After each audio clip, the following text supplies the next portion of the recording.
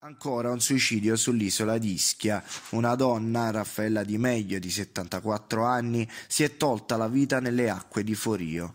Le tracce si erano perse già nel pomeriggio di sabato, quando familiari ed amici hanno avviato le ricerche e lanciato l'allarme.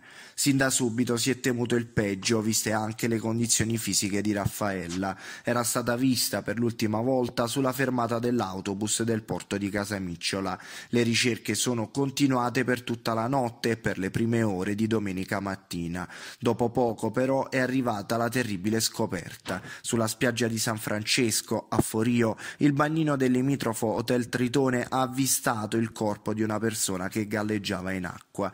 Inutile l'immediato soccorso. Non appena trasportato il corpo sulla spiaggia ci si è accorti che oramai non c'era più nulla da fare. Sul posto sono subito arrivate le forze dell'ordine e la ricostruzione dell'accaduto non è è stata complicata, anche perché a dare ulteriori certezze sul suicidio da parte della donna è stato il ritrovamento di un cappottino sulla spiaggia della Chiaia.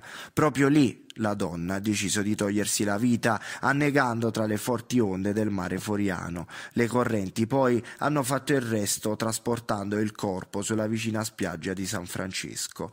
Al momento la salma è stata trasportata a Napoli per l'autopsia che darà ulteriori dettagli ed elementi agli investigatori per una più precisa ricostruzione dei fatti. Resta l'impossibilità di spiegare le motivazioni di un gesto così disperato e tragico e resta soprattutto soprattutto il dolore della famiglia e dei tanti conoscenti.